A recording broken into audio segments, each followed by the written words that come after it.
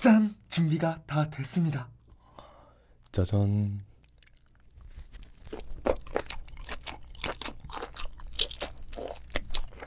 음. 김.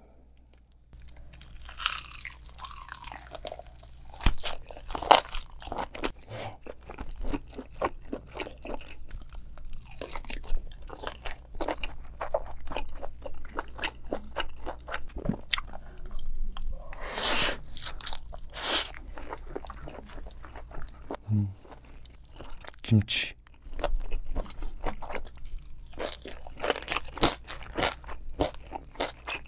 너무 맛있다. 살짝 찍어서. 음?